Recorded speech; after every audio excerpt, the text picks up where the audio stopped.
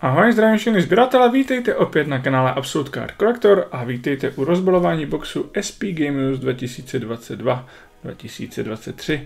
Je to čerstvá novinka, SP Game News, už známe z předchozích let, je to takovýhle malinký box, ve kterém je 6 prémiových karet, hm, který se soustředí hodně na memorabilie. Bohužel ten název Game News už není tak úplně pravdou, jsou tam nějaké manufacture patche, no, nebo jsou tam různé banery a podobné zajímavosti, zdění v NHL, čím je to vlastně vyplněno, ale i tak se tam dají najít krásné karty, včetně pár novinek na náš letošní rok.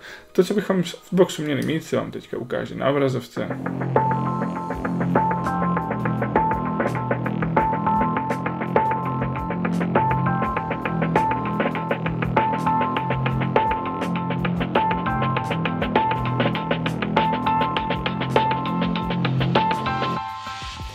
Se jdem podívat na samotný box. Loni jsme vlastně vytáhli krásnou kartu mm, Ondřeje Paláta v limitu do pěti kusů. Mohli jste vidět teďka ve slevě dne u nás na webu. Tak, tohle to tam je. A není to teda moc tlusté, takže mám strach, že se nebude konat nic speciálního.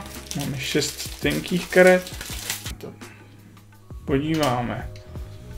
Ale začínáme hnedka parádní trefou a to je a, řadová karta Joe Pavelského oblíbeného hráče a je v limitu 16, 4 16. A ty řadové karty jsou vlastně vzácné tím, že jsou limitované do, do čísla dresu daného hráče, takže super u Joe Pavelského. Jako druhá karta je SP Game Used Edition do 999 Piotr Kočetkov. A tady bychom měli mít podpis a je to Elvis Merzlikins Blue Autograph. Jsou bez limitu. Příjemný podpis.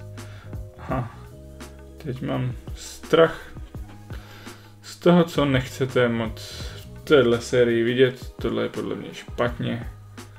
Nicméně, eh, první tři karty byly fajn, tohle, no jdem se na to podívat. Takže první je Mitch Marner z Heritage Classic, dejme tomu, to je pěkná karta. Vlastně z toho zápase pod čtyřím nebem. Tady potom Scott Perunovič z Winter Classic.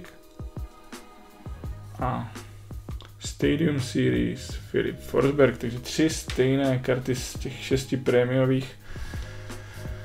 Oh, nejsem z toho teda vůbec nadšený, se přiznám.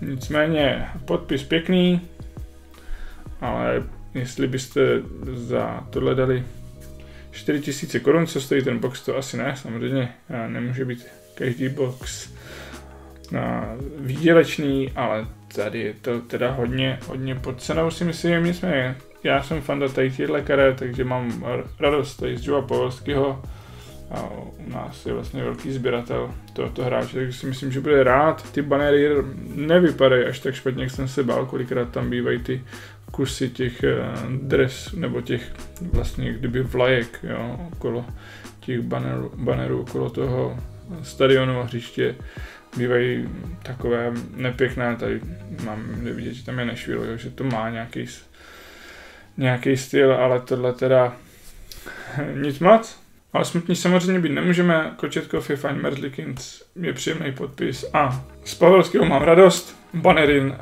nevypadají tak hrozně, ale to je asi nejméně oblíbená karta karta v této sérii si troufnu typnout, ale třeba někdo to má, někdo to má rád.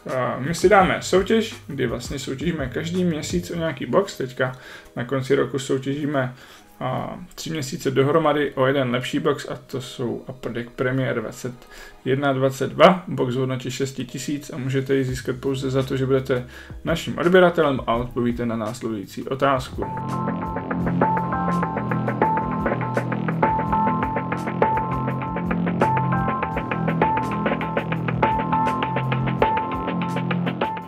Jakmile splníte požadavky a odpovíte na tuto otázku, máte jeden hlas do závěrečného hlasování.